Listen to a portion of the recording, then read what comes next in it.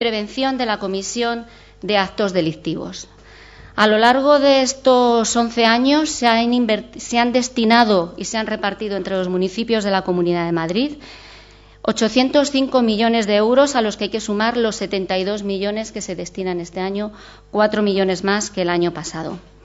No voy a, manifestar todavía la intención de voto del Grupo Popular eh, pero como entenderán, si alguien defiende a las BESCAM en la Comunidad de Madrid es el Gobierno del Partido Popular, como es lógico. Gracias. Tiene su turno de palabra el Partido Socialista. Bien, yo no estaba en la Asamblea de Madrid ni he estado nunca, pero en el 2004 imagino que a lo que se referirían es precisamente lo que está ocurriendo. Como ha dicho el compañero de Izquierda Unida, es una patata caliente porque ¿quién iba a rechazar ampliar su plantilla de policía local en un municipio cuando te lo están ofreciendo? O sea, sería de locos. Es que aquí eh, se amplió en, en 50 agentes más. ¿Cómo lo vas a rechazar? Pero desde luego lo que se hablaría es qué va a pasar después porque ha dicho antes el, compañero de Cambiemos Villalba que esto puede provocar que haya inseguridad en el municipio porque no se pueda pagar a estas personas. No, es que las tenemos que pagar sí o sí porque es que son funcionarios municipales de propio derecho. O sea, esa es la patata envenenada. Venga, yo en 2004 creo estas, estas brigadas de, seguridad, eh, os envío a todos los municipios un montón de, agentes que son muy necesarios y que, por supuesto, hacen una excelente labor y luego ya veremos cómo se va financiando, efectivamente como ya veremos cómo se va financiando, pues estamos llegando a ello. Que a partir de 2013 hachazo a todos los municipios y nos reducen el 50% de la subvención. Es a lo que me refiero, porque además es que esta moción la hemos traído en 2012, que ya la rechazaron, la hemos traído también en 2013, que también la rechazaron. Vamos a ver ahora qué ocurre porque es verdad que es como eh, eh, lanzar eh, ondas al vacío, ¿no?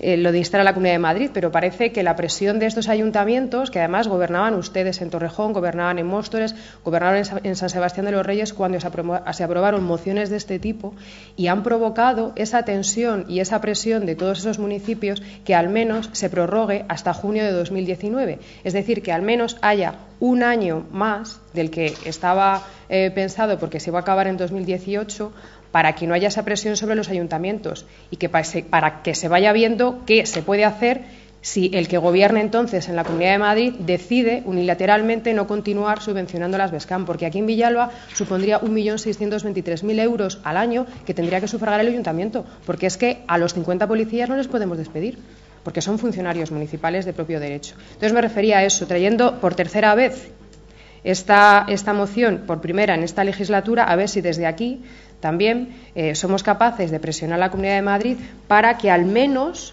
se mantenga esta financiación tal y como está, no sé si tal y como está en el convenio, pero al menos que no sigan reduciendo más, porque ya que tenemos que pagar más de 600.000 euros desde 2014, pues que no lo sigan reduciendo, que se mantenga al menos así, para que se tengan previstos los presupuestos, que esos 600.000 euros los tiene que aportar el, ayuntamiento. A eso me refería, así que bueno, usted, eh, dependerá eh, ya de ustedes lo que voten, aunque ya he visto que el resto de los grupos va a votar a favor y esta vez sí que prospera. Nosotros, evidentemente, votaremos a favor. Muchas gracias. Tiene la palabra la portavoz del Partido Popular. Gracias. No me refería a que en este ayuntamiento se hubiese votado en contra. No creo que ni en este ayuntamiento ni en ningún otro. Me refería a la Asamblea de Madrid. Medios de comunicación, pues muchos lugares en los que reírse de esta decisión.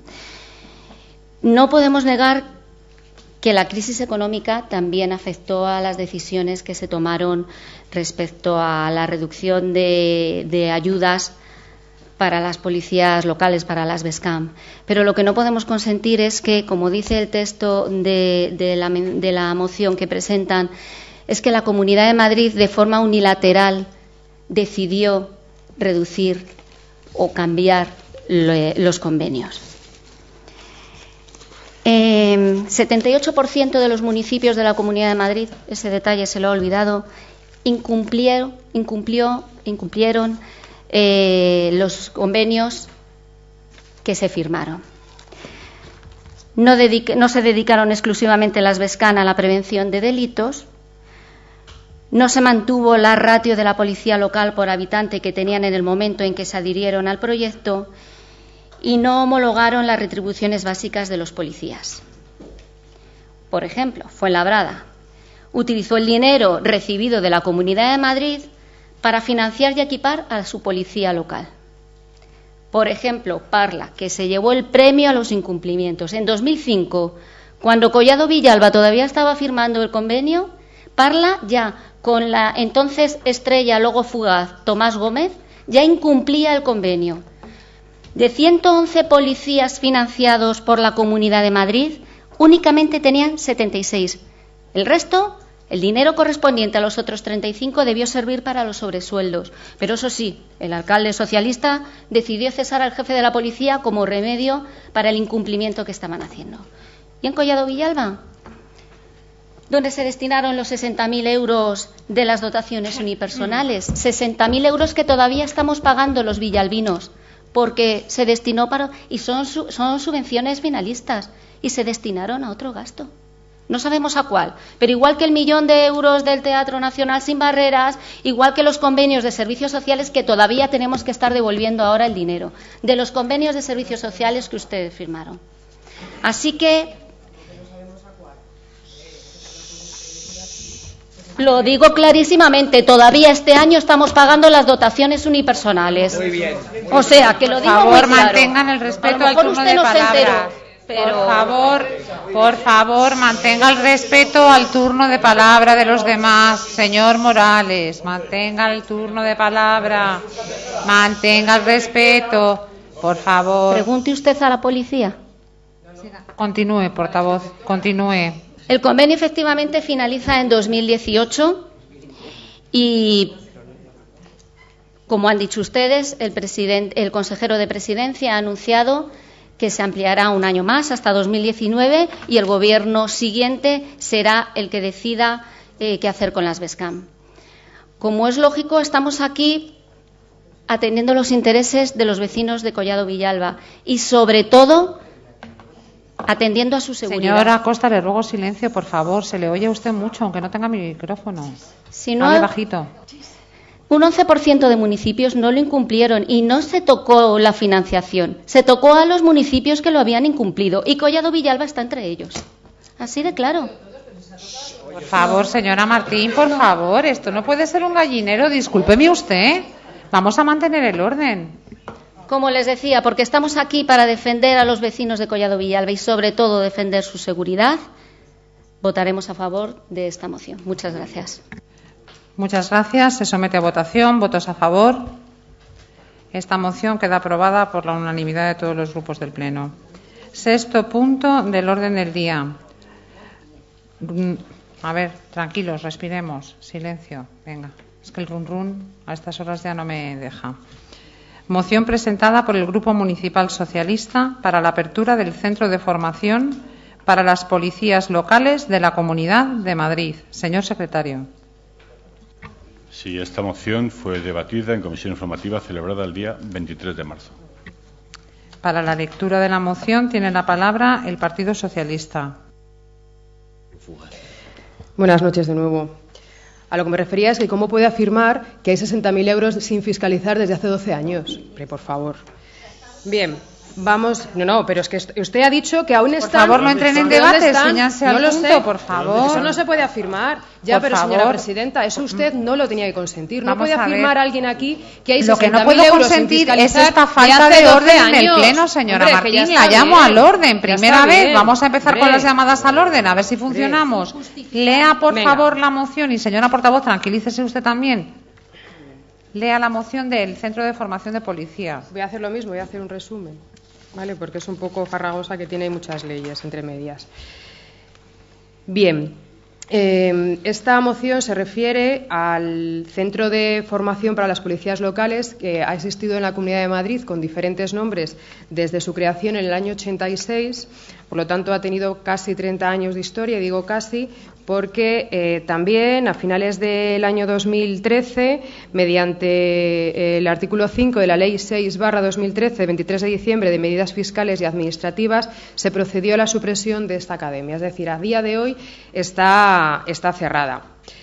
Esto es algo inédito porque en las 17 comunidades eh, pues siguen existiendo ese centro de formación para sus policías locales y en Madrid, que tenía cierto prestigio, por no decir que era una de las mejores de las 17, pues se cerró pues alegando motivos eh, presupuestarios.